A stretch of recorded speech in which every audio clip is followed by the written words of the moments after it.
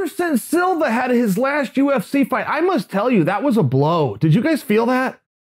And did you feel like a, like an emotional blow as a fan? I mean, when there's an end of an era, end of a fighter you've been following, there's something there.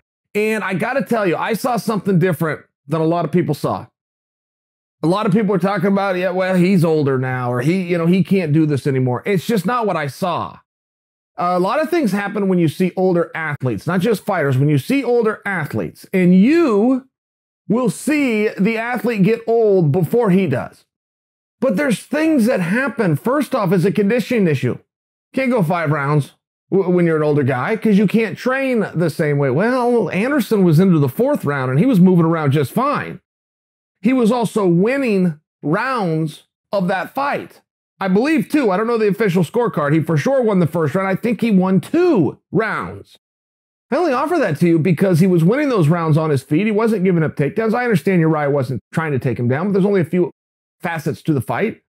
When he's on his feet, he was keeping good movement. He was keeping good range. Not to mention, you, you talk about with an older athlete that he loses his timing, or he loses his speed, or he loses his accuracy. I didn't see Anderson throwing air balls. Everything was sticking, including the kicks. He was going to kicks to the head, kick inside the legs, boom, jab to the body. His defenses were good. One thing Uriah Hall will do is touch you. Uriah will just touch you. Coach Clayton train, just touch the guy. Don't worry about hurting him. Don't worry about being fancy. Just touch the guy. Uriah was having a hard time touching him. And Uriah even talked about that after the fight. Said, man, I was having a hard time. Some of his movement, he was throwing me a little bit off at the range. It was a nice compliment from Uriah. So I just share that with you because I don't know that I saw what everybody else saw. Do I see that it, it's looking like a good time to not be doing this? For sure. I'm not saying that. But I thought, you know, look, he won some rounds and he looked good doing it. And he kept the fight in the realm that he prefers to keep the fight. His conditioning was on point, his speed was on point. I also would like you to acknowledge that because if you don't, you're taking away from Uriah Hall's great victory.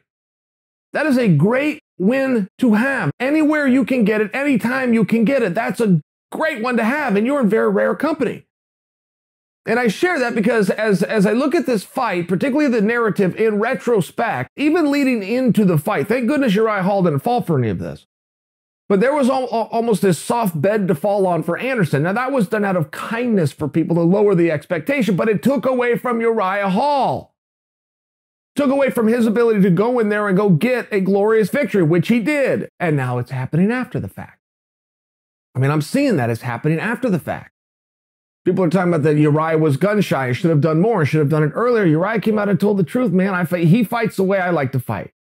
And Another way of looking at that is I fought his fight, which is all stand up. Okay, great. Well, he turns out he's pretty damn good at it. I mean, Adesanya fought Anderson not that long ago and lost the second round and came away saying the same thing Uriah Hall said, which was, man, he's pretty tricky on his feet. Chose to keep it here. Uriah did the same thing. I, am just, I, I would only offer that thought to you the moment afterwards was uh, it was very beautiful. Anderson did everything right. He walked out when he was ready to walk out. That might sound small. But most athletes, the game ends and they usher you off the court. They usher you off the field. The UFC gave him his moment. The production team gave him his moment. I mean, they were running a TV show. They needed an interview. There was things that had to happen. They gave him, they stayed out of his way. He got down on his knees. He meditated and or said a prayer got up and finally left. It was just a cool moment, but then Anderson was talking and he was very open. I really enjoyed hearing him. Even got a even got a chair in the back and he sits down on it. He just he does his interview. Catching his breath and he does his interview, but you could tell he was internalizing a lot. And he was talking about it's very hard. Michael Bisping was interviewing him and just asked him straight up, Is this it? And Anderson said, Man, let me go home. This is it in the UFC. But the UFC has decided that. I want to go on here, but I'm not allowed to go on here. I'm paraphrasing, guys.